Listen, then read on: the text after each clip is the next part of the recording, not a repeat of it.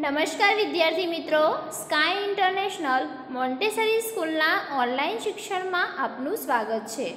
ધોરણ પાંચ, વિષય ગુજરાતી, કાવ્ય સાત, અલગ દલક તો વિદ્યાર્થીઓ, આજે આપણે કાવ્ય અલગ દલક વિશે માહિતી મેળવીશું. તો આ કાવ્યનો પ્રકાર છે ઉર્મી અને એના કવિ છે બાલ મુકુંદ દવે. વિદ્યાર્થીઓ, હવે બાલ મુકુંદ દવે વિશે આપણે માહિતી મેળવીશું. અહીં જુઓ, બાલ મુકુંદ દવેની તસવીર છે. તમે એમને નિહાળી શકો છો. અહીં જુઓ, વિદ્યાર્થીઓ, એમના વિશે માહિતી આપેલી છે. તો બાલ મુકુંદ દવે. નું પૂરું નામ, દવે બાલ મુકુંદ મણિશંકર. એમનો જન્મ સાત ત્રણ ઓગણીસો ને સોળના થયો હતો. કવિનો જન્મ વડોદરા જિલ્લાના મસ્તુપુરામાં પ્રાથમિક અને માધ્યમિક શિક્ષણ અનુક્રમે એ મસ્તુપુરા એટલે કે કુકરવાડાની ગુજરાતી શાળામાં ભણ્યા છે. એમને વડોદરાના શ્રી સયાજી હાઈસ્કૂલમાં એ ભણ્યા છે. પછી મેટ્રિક પણ એ ત્યાં થયા. મેટ્રિક થઈ અને ઓગણીસો ને અડત્રીસમાં અમદાવાદમાં આવી શરૂઆતમાં સસ્તું સાહિત્યવર્ધક કાર્યાલયમાં કામ કર્યા બાદ થોડા વખત પત્રકારત્વ ક્ષેત્રે કામગીરી બજાવી અને નવજીવનમાં જોડાયા. એ એક સંસ્થામાં જોડાયા. ત્યાંથી ત્રણ દાયકે નિવૃત્ત થઈ હાલ નવજીવન પ્રકાશિત લોકજીવનનું સંપાદન કાર્ય કરે છે.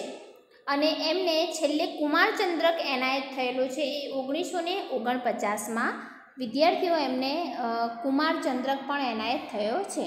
તો આ હતી કવિની માહિતી. તો વિદ્યાર્થીઓ, હવે આપણે સુંદર મજાનું કાવ્યનું ગાન કરીશું.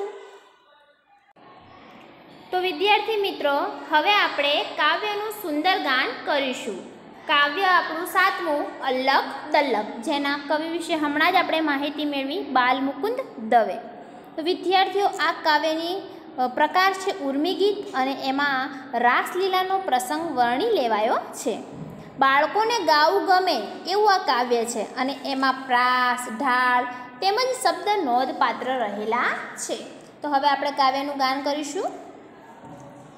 અલ્લક, દલ્લક, ઝાંઝર, જલ્લક, રટિયાળો, જમનાનો મલ્લક, એથી સુંદર રાધા ગોરી, મુખડું ઝળકે ઝલ્લક ઝલ્લક અલ્લક દલ્લક, ઝાંઝર જલ્લક, રટિયાળો જમનાનો મલ્લક. એથી સુંદર રાધા ગોરી, મુખડું ઝળકે ઝલ્લક ઝલ્લક આભે પૂનમ ચાંદ ઉગ્યો છે, રાસ જગ્યો છે છમક છમક ગોપી ભેળા કાન ઘૂસ્યા છે, ઢોલક વાગે ઢમક ઢમક. રાધિકાનો હાર તૂટે છે. મોતી ચળકે ચલ્લક ચલ્લક, બધા જડ્યા પણ એક ખૂટે છે. રૂવે રાધિકા છલ્લક છલ્લક. રાધિકાનો હાર તૂટે છે. મોતી ચળકે ચલ્લક ચલ્લક, બધા જડ્યા પણ એક ખૂટે છે. રૂવે રાધિકા છલ્લક છલ્લક. લીધું હોય તો આલને કાના મોતી મારું ચલ્લક ચલ્લક તારા ચરિતર છે ક્યાં છાના જાણે આખો મલ્લક મલ્લક. લીધું હોય તો આલને કાના મોતી મારું ચલ્લક ચલ્લક તારા ચરિતર છે ક્યાં છાના જાણે આખો મલ્લક મલ્લક.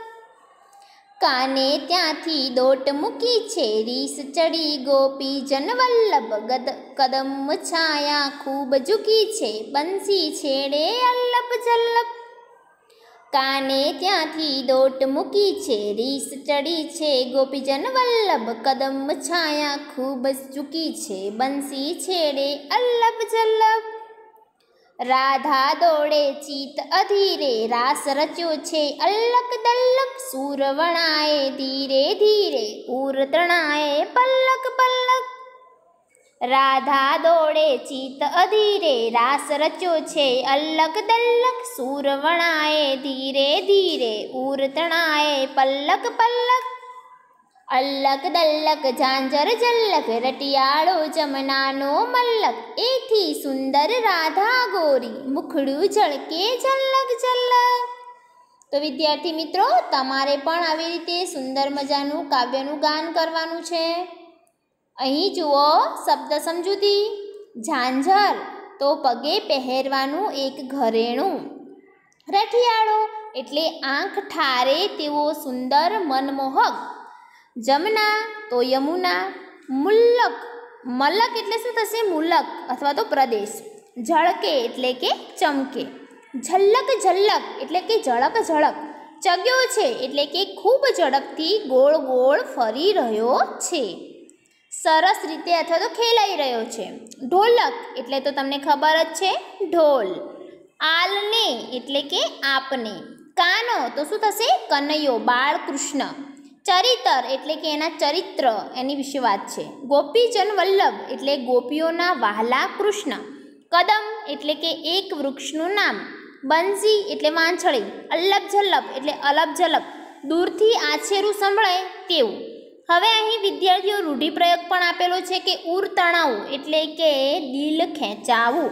તો વિદ્યાર્થી મિત્રો તમારે વિષયની નોટબુકમાં સુંદર અક્ષરે શબ્દ સમજૂતી અને રૂઢિપ્રયોગ લખી લેવા.